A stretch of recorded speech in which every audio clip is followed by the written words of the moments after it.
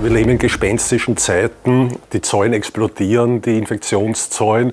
Und es ist einfach fraglich, wann äh, Nationalteams quer durch Europa reisen, um in leeren Stadien Fußball zu spielen, in der Nations League, die ich nicht unbedingt für einen legendären Bewerb halte, aber es geht natürlich um Geld, man muss präsent sein, Fernsehverträge ist, ist ganz klar. Drei Spiele, drei Siege, mehr geht nicht, weil sonst hätten wir ja vier oder fünfmal spielen müssen. Man muss nur sagen, es war natürlich Griechenland, Nordirland äh, und Rumänien, zählen nicht unbedingt zu den Kapazundern äh, im Fußball.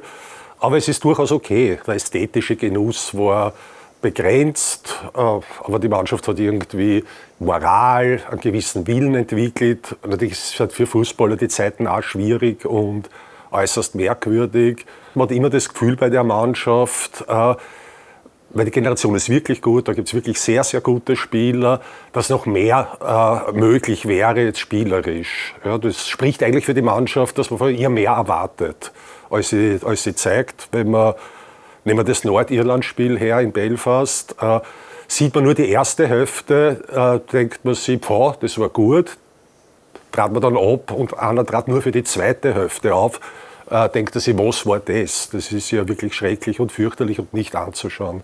Aber Fußball ist halt ein Ergebnissport und die Ergebnisse haben gestimmt.